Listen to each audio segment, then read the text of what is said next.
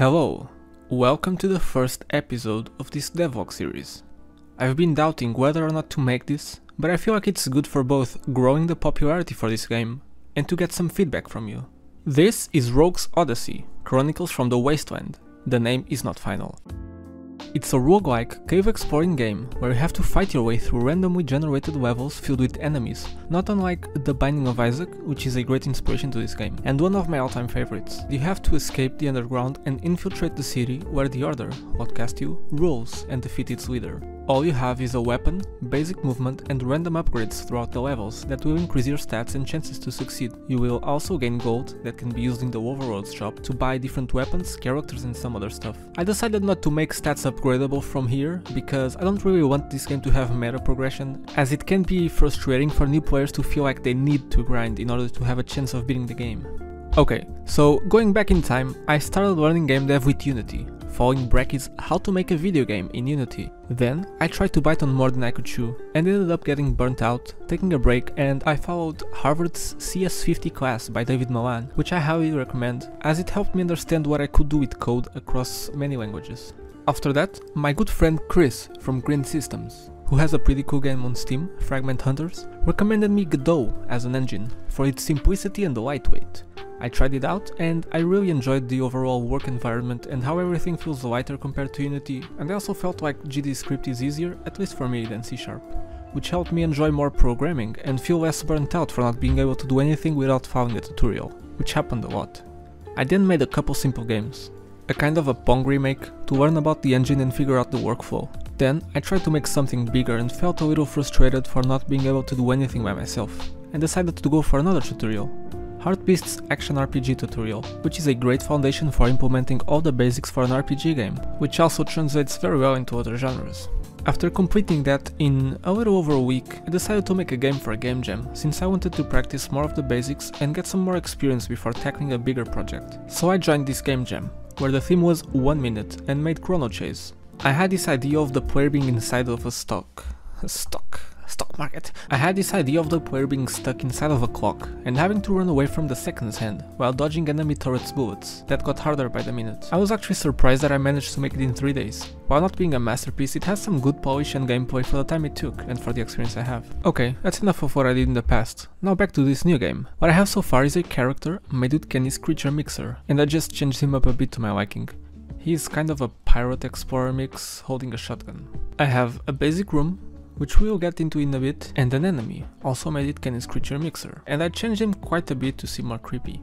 I implemented an HP and a damage system with some hidden hurt boxes, which I learned from the Heartbeast tutorial, and the respective visual cues, like the blood particles coming out. Some of the art is just placeholder for now, and it might change in the future. I want the game to have a slightly darker mood than usual, which is why I chose this color palette, with colors that have very low saturation values, helping the feeling set in.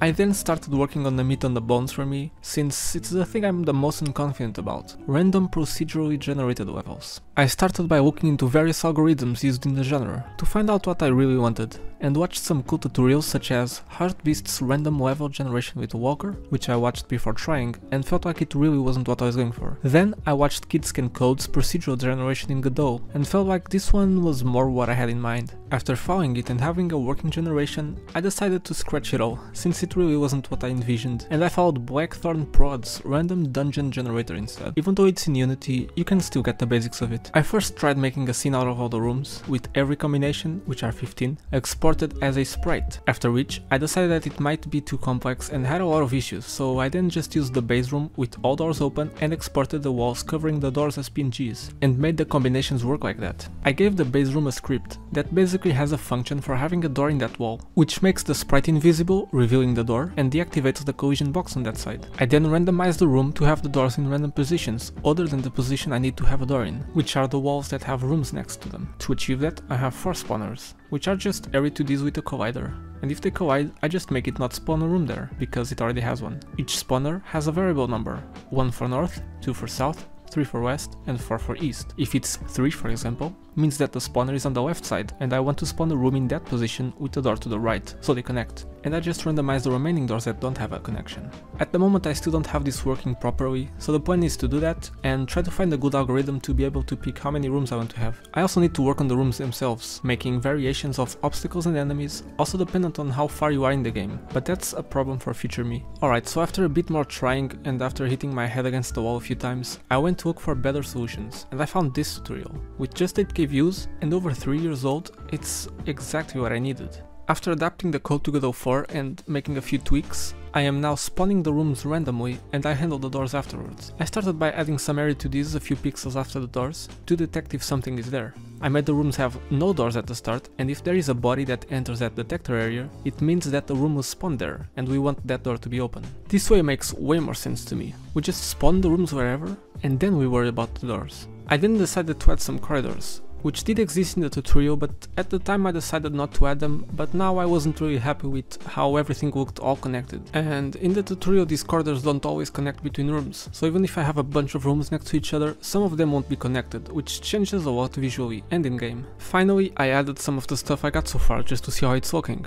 A player that shoots can damage an enemy, which can also damage the player back, all in a randomly generated level. I also added the green and the red module to the start and end rooms, which is not final since the start room is always at position 00, so that was easy, and the end room is always the rightmost room, with this simple code, and that can happen to be right next to the start room, which is not ideal. I need to change it up and make it the furthest room away instead. Okay, so I messed a bit with the code and this wasn't too hard, so I just basically changed my variable to be the furthest room instead, and there is a distance which is just the room position x plus the room position y, returning the absolute value. So basically it just iterates over all the rooms, and if the absolute value from position x plus position y is higher than the previous end rooms, this one becomes the end room. Finally I just added a camera 2D with 4 area 2Ds on the extents, and if a player crosses one, the camera's position just moves to the room on that side. Okay, so my plans for the future are make the doors close during fights and open afterwards, add a couple more enemies, add a boss, add some items, add some gold, gold drops at the end of the rooms, you know, a lot of stuff. But for now that's the plan, just add the minimum content needed to make a playable level. It's been about a week and a half since I started this project, and I feel like this is a good point for me to end the video. I'm not sure when I'm gonna upload again, but I hope that I can get some good progress till then.